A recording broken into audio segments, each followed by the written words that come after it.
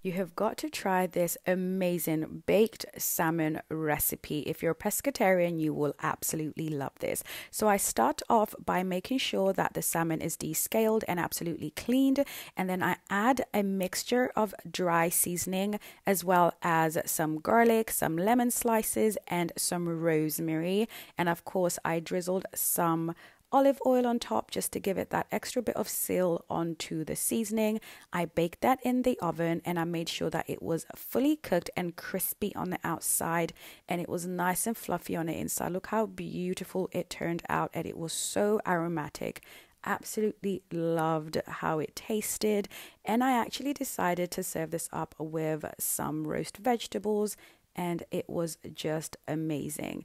It definitely went down a treat, and I know that you will love this recipe. Check out the full video on my channel.